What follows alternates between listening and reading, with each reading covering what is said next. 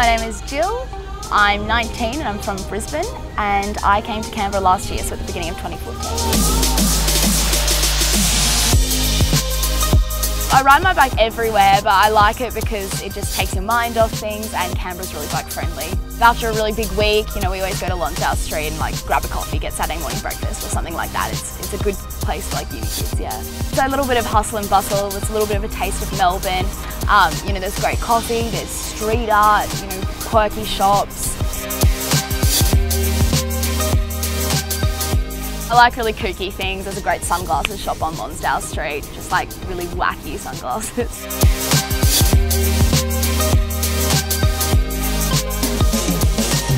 Know, like on Bryan Street, there's just heaps of food vans and, you know, the prices are really good and my friend Ellie and I, like, usually come here once a week and, like, have a meal, yeah.